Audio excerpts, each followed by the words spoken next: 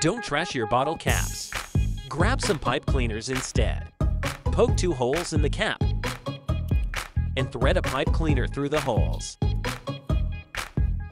Install them under your desk. And you just made yourself adjustable and reusable cable ties. So, what's holding you back from organizing your cables?